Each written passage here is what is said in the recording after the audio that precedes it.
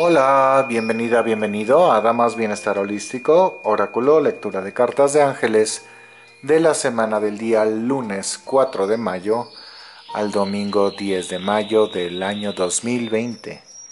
¿Cómo te encuentras? Espero que te encuentres muy bien. Pues eh, aquí en México se celebra el Día de las Madres el 10 de mayo.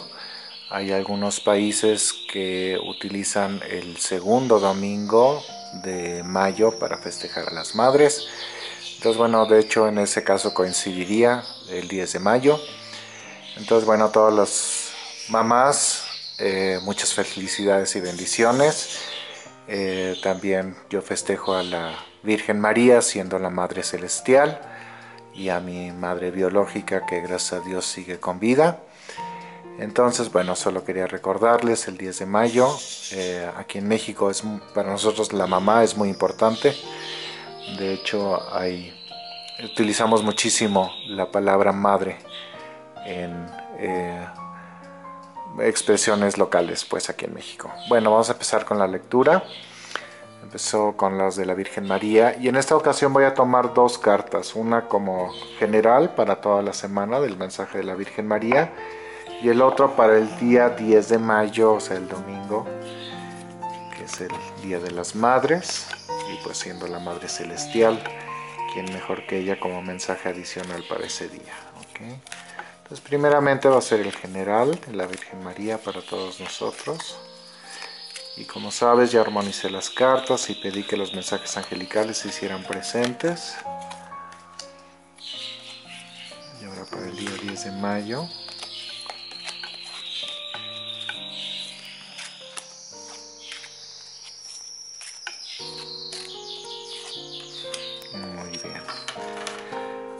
Este, en el video anterior dejé abiertos los comentarios y muchas gracias por sus comentarios. Y dos personas me dijeron que les gustó mucho la tirada con una carta para cada día de la semana. Entonces lo voy a seguir haciendo en este video y en el que les sigue. Y probablemente en una de esas vuelva nuevamente a la tirada normal. Agradezco a cada uno de ustedes que comparte estos videos, los hago con mucho amor algunas personas que se dejaron de suscribir. Y bueno pues entonces ya para mí eso significa que se cumplió la finalidad para ellos en lo que les podía yo aportar. Y bueno agradezco a los que sí se suscriben o se mantienen suscritos a quienes comparten los videos. Saben que lo hago con mucho amor. Y este bueno igual para compartirles de la campaña ayudarte pues sí ha eh, empezado a jalar algo, pero no tanto como me hubiera encantado. Entonces, bueno, vamos a, ver, todavía hay 30 días. Les agradecería si lo pueden compartir en sus redes sociales. Este, por más gente que lo comparta, más alta es la probabilidad de alguien que llegue a donar dinero para esta campaña a beneficencia de la Cruz Roja. Muy bien y de las cartas de Drawing Virtue de la sanación con ángeles. Escojo una carta como carta adicional muy en especial para quienes celebran algo. Entonces vamos a ver qué es lo que nos dice esta carta. Muy bien. La Virgen María del 10 de mayo la voy a poner acá junto. Y vamos a ver cómo se van ligando las cartas ¿ok? Empecemos con la lectura y su interpretación. La Virgen María nos quiere dejar saber para esta semana lo siguiente. Home, hogar. Bueno, ahora sí que todo el mundo estamos en el hogar o la gran mayoría se encuentra en el hogar por esto de la cuarentena. Para mí el hogar representa el corazón, o sea, va mucho más allá de, de la casa física, digamos. Y dice, I trust and follow my divine guidance about my home. Yo confío y sigo mi eh, guía divina en relación a mi hogar, en relación a mi corazón.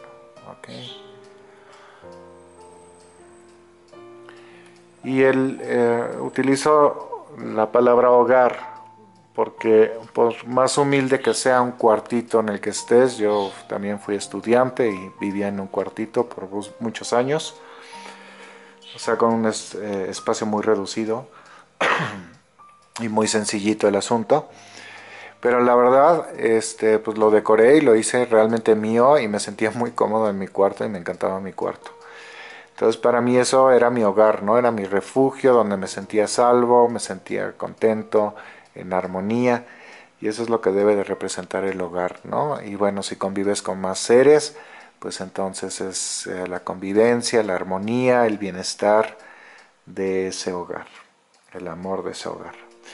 Entonces, bueno, vamos a ver cómo se van a completando. Para el día lunes, la carta dice paz. Y dice Arcángel Rafael, en mi mundo reina la paz constantemente Dejo de asustarme, vivo una vida tranquila.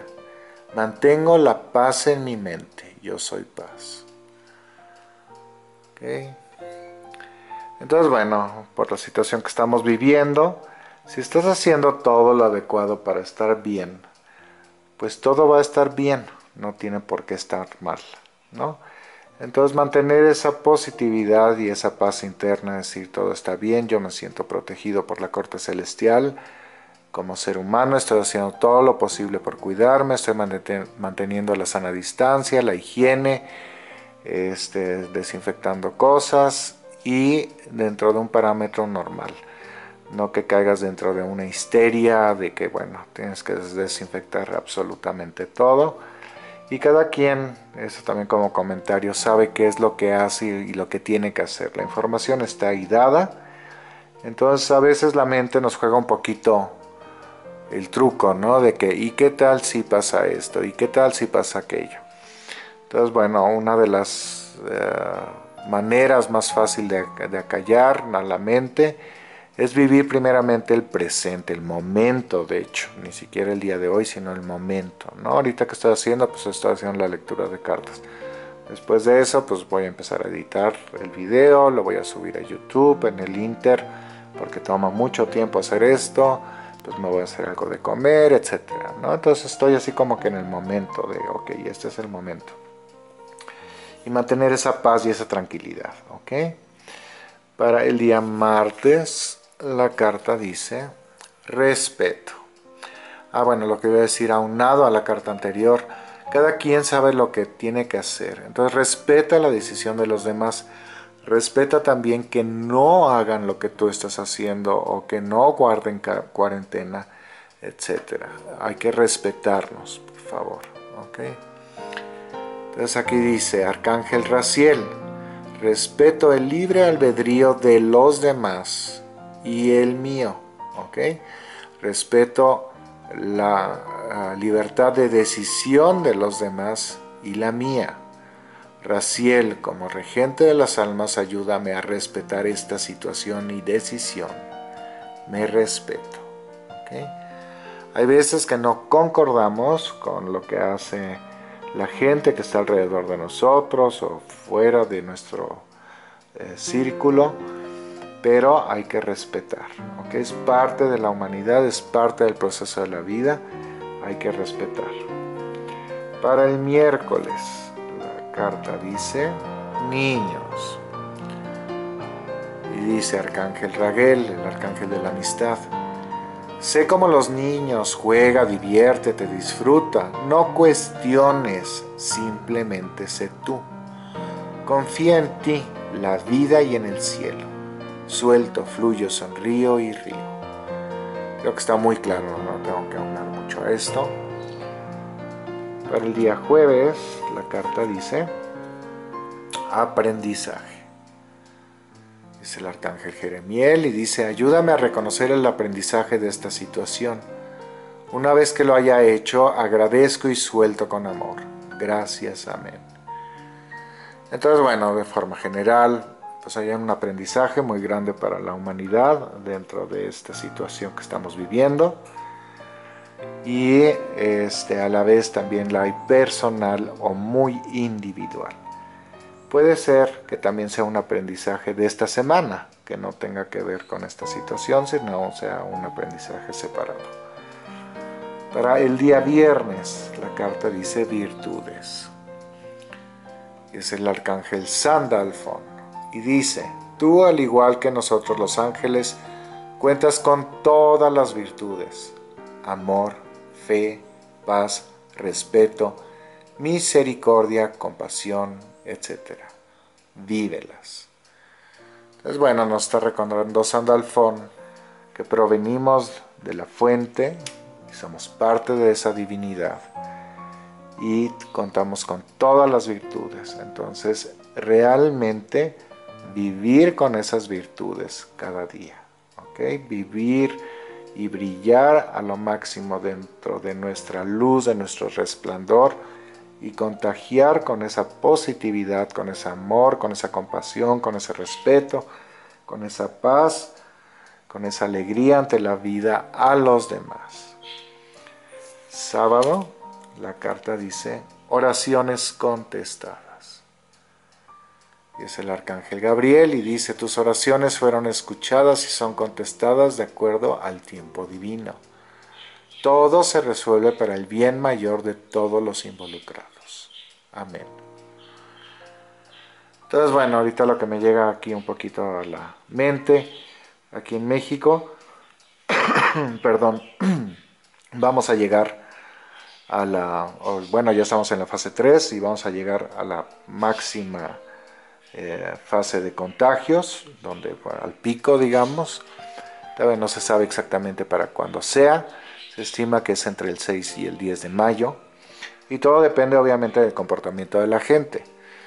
Eh, desgraciadamente de donde yo vivo, en la ciudad que yo vivo, pues nada más 40% se están ateniendo a quedarse en casa por más campaña que se ha hecho y el otro 60% no. Entonces, bueno, yo creo que tiene que ver con esta situación. Yo estoy siempre rezando porque pues se contagie lo menos posible la gente, que sufra lo menos posible, que se enferme lo menos posible, etcétera, ¿no? Pero también trato de manera consciente de ya no estar viendo cifras o noticias para ya no estarme deprimiendo porque no puedo cambiar la situación entonces lo único que puedo hacer es aportar a través de mi oración y pedir que todo esté lo mejor posible dentro de las posibilidades dadas. Y para el domingo la carta dice nuevo comienzo. Y es el arcángel Metatrón y dice, deja el pasado en el pasado. Este es un nuevo comienzo, cada día lo es. Reconoce tus logros y sigue adelante vuela. Pues bueno, también quería comentar, estuve checando este, el video del oráculo anual y es muy chistoso si te pones a ver el oráculo.